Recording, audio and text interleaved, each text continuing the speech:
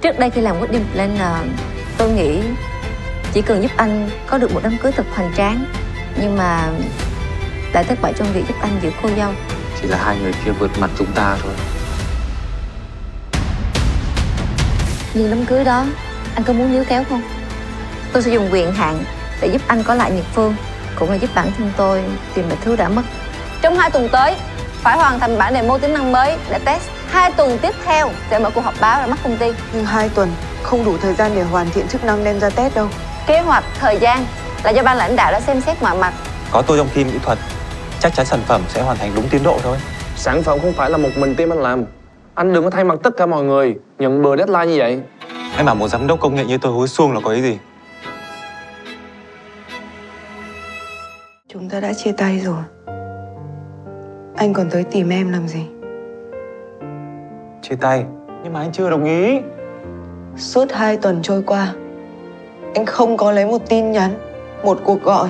Đó không phải câu trả lời của anh sao? Anh cũng muốn gọi cho em Nhưng mà chị Vân khuyên anh Nên cho em một chút không gian Một chút thời gian để em bình tĩnh lại. Bây giờ chuyện giữa anh và em Anh cũng cần phải hỏi ý kiến chị Vân. Để chị ấy dạy anh phải cư xử sao hả? Nhưng mà anh với cả chị không có một cái gì hết Anh không cần giải thích gì cả. Đúng hay sai Đối với em bây giờ cũng không quan trọng nữa. Ba năm nay anh vun đắp tình cảm của tụi mình như thế Có thể đối với em như vậy là chưa đủ tốt Chưa hoàn hảo Nhưng mà anh đã cố gắng hết sức rồi. Cuộc sống của hai chúng ta Không giống nhau. Không giống nhau điểm nào? Vậy mà anh cũng hỏi nữa hả? Anh không biết thì anh mới hỏi em chứ. Rồi em cần cái gì anh cũng sẽ cố gắng hết sức để làm em hài lòng. Vậy được chưa? Anh Dũng, Anh đã hy sinh rất nhiều cho em. Anh cố gắng cho tương lai của hai đứa. Chính vì vậy nên em chưa bao giờ nghi ngờ mọi kế hoạch của anh. Em cũng luôn làm theo tất cả mọi thứ anh sắp xếp. Nhưng anh chợt nhận ra rằng Đó không phải những điều em mong muốn. Buồn nhất là Anh đã quá quen với điều đó. Em không muốn trở thành người phụ nữ. Chỉ biết dựa dẫm vào đàn ông. Để rồi khi không có họ bên cạnh Thì cuộc sống của em giống như tận thế. Nếu như nếu như mà em cảm thấy Anh chưa cho em đủ cảm giác an toàn Anh sẽ thay đổi. Em đã nói đến vậy rồi mà anh vẫn chưa hiểu nữa hả? Vậy thì rốt cuộc em anh phải làm sao? Trong công ty Cô ấy có gặp chuyện gì Không vui hay không? Hay là cô ấy có Người khác không? Gái ngoan như Phương thì có ăn vụng cũng đâu có nói cho anh biết. Hả?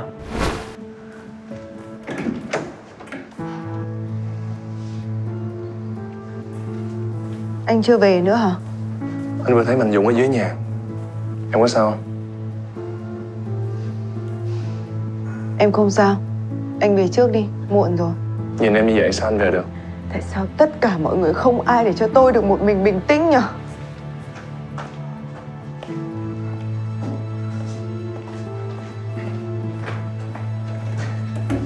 Sao hai cái người này cãi nhau như bồ bịch cái nhỉ? Làm gì có. Tôi biết rồi. Cô và Huy Hoàng chỉ là bình phong. Còn Phương chia tay Mạnh Dũng là vì anh ta. Anh đừng có suy nghĩ nhiều được không? Hai người đó chỉ là bạn thôi có gì đâu. Bạn à? Nhìn bằng cái mắt cá chân của tôi cũng không phải Gái ngoan hiền như Phương thì làm gì có chuyện ngoại tình Đúng không?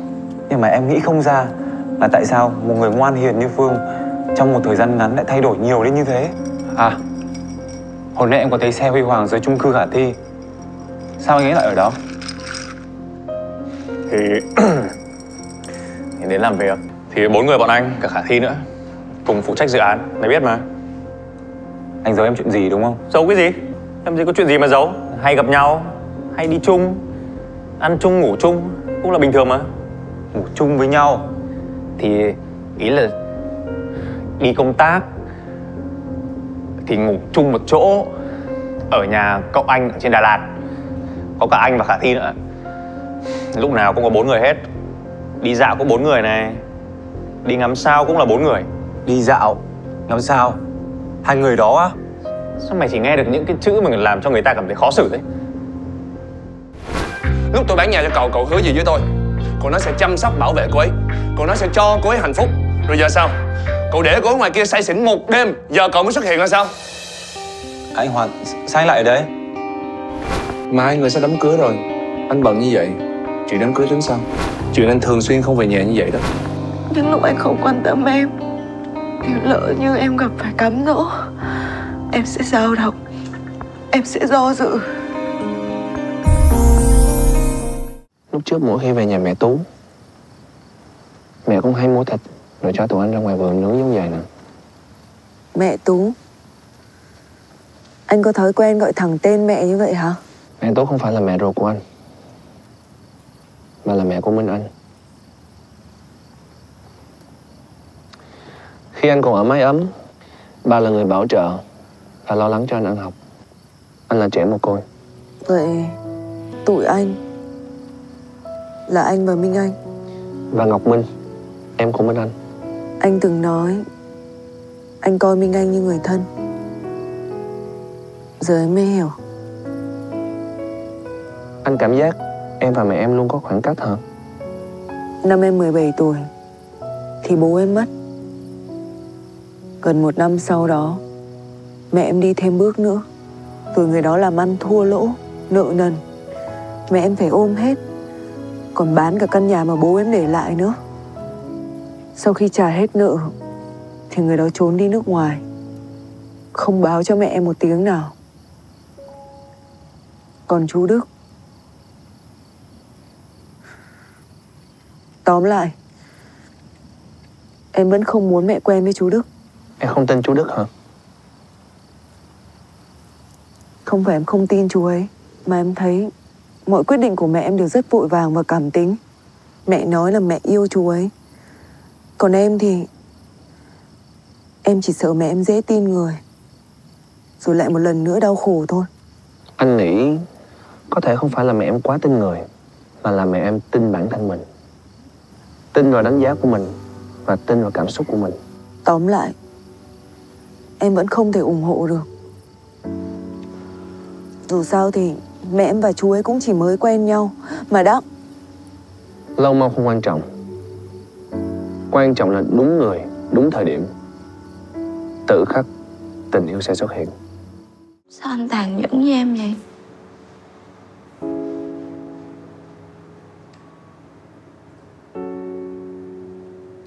Không lẽ em không biết lý do vì sao sao?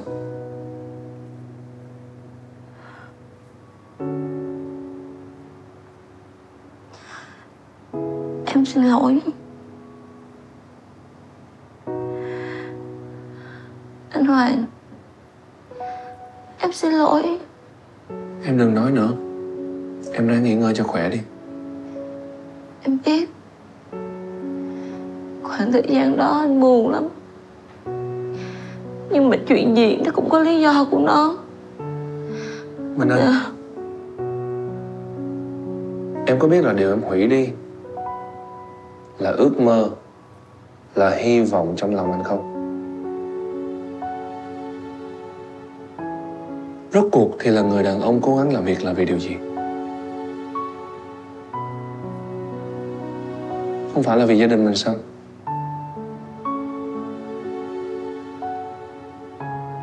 Nhưng mà trước khi em bỏ đứa bé, Em đã hỏi qua anh chưa? Đứa bé cũng là con của anh mà.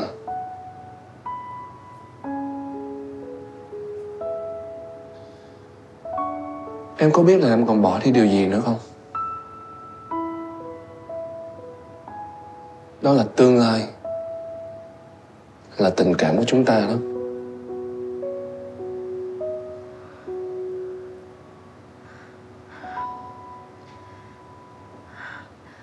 Anh Hoàng Thực ra Chuyện mở đứa bé Thực sự thì Chị hai Anh Hoàng Chị có sao không? Yêu trước ngày cưới 20 giờ thứ sáu, thứ bảy hàng tuần, Duy nhất trên siêu ứng dụng giải trí Vion. Ngày chiến thắng hai này, Vào thời khắc kỳ diệu nhất năm. Siêu show giải trí đặc biệt đêm giao thừa. Sống 24 đang đợi bạn. Cùng vô vàng kết hợp bất ngờ làm trái tim dậy sóng. Lần đầu được xem. Lần đầu được nghe. Tất cả lần đầu đều dành cho bạn.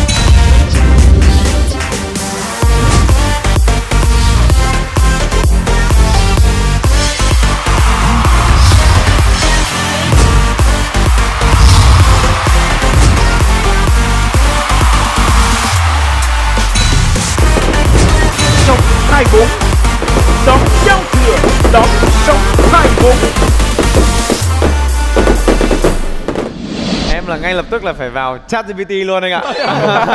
Cái sổ Anh chấp Miếng, miếng hài công nghệ vậy. Kể chuyện hài mà đọc là tôi sổ chấp luôn mà Một hôm chú voi và chú chuột quyết định tổ chức một bữa tiệc lớn. Chú voi làm đầu bếp trong khi chú chuột giữ vai trò làm MC Hợp lý. Đến lúc bữa tiệc bắt đầu thì chú voi đưa ra một đĩa rất lớn đầy bánh ngọt và nói Đây là bánh ngọt ngon nhất thế giới Mọi người cứ thoải mái mà ăn.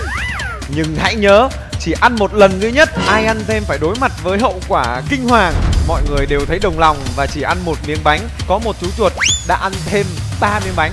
Hay. Lạc lạc cười cho ta, em em cũng chưa thấy khúc khúc cười lắm. Em, Chưa, em chưa, chưa, chưa, đang- đang gieo, đang gieo, đang đang đang gieo, vô, đang đang vô gieo. ha. gieo, Chú chuột MC liền nghiêm túc và nói. Đến lúc này thì phải đối mặt với hậu quả.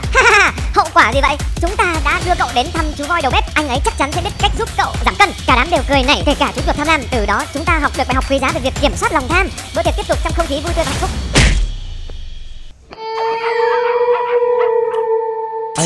cái miếng này nó rơi xuống lòng đất rồi anh dưới rồi. Được không Nó là under. Em đào lên hộ anh cái. Em ơi không máy xúc ra chưa? Em lấy máy xúc không? Lấy xúc nhá. Ok anh anh, anh bâng Cái lên. này nó thuộc về băng đăng nhưng mà Lạnh lắm Eo ơi em có nickname chưa?